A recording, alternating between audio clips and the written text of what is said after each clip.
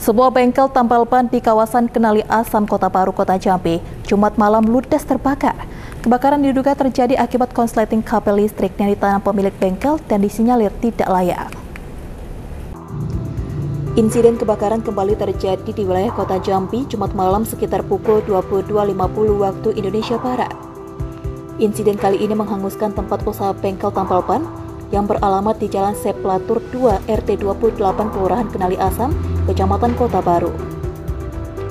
Dalam insiden tersebut, api dengan cepat membumbung tinggi dikarenakan banyaknya ban karet, sehingga membuat banyak masyarakat sekitar berhamburan keluar rumah. Kepala Dinas Pemadam Kebakaran dan Penyelamatan Kota Jambi Mustari Avandi mengatakan, pihaknya mendapatkan laporan bahwa terdapat salah satu bengkel ban yang terbakar dan kejadian pemilik bengkel tidak ada di lokasi. Tak membutuhkan waktu lama setelah menerima laporan tersebut, tim pemadam hanya membutuhkan waktu sekitar 8 menit untuk sampai ke titik lokasi kejadian. Dalam pemadaman tersebut, damkar mengerahkan 5 unit mobil pemadam dengan 35 personel serta menggunakan 9.000 liter air. Mustari juga menuturkan adapun penyebab kebakaran tersebut adanya kabel tidak standar yang ditanam di tanah untuk dialiri arus listrik oleh pemilik bengkel dari rumah bersangkutan dan juga stop kontak kipas angin yang tidak dicabut saat pemilik meninggalkan bengkel.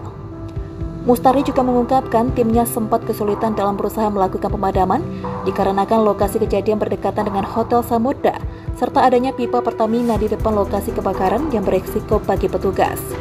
Juga dari pemadam kebakaran adanya bengkel yang ditinggalkan oleh penghuninya tidak mencabut peralatan listrik. Salah satunya yang kita temukan adalah kipas angin dan konten yang kita lakukan 8 menit dari Mako dengan menggunakan armada 4 unit dan ternyata kondisi kita temukan di TKP uh, si pemilik usaha ini menanam kabel di bawah tanah dan tidak termonitor sehingga mungkin ditinggalkan menjadi kebakaran.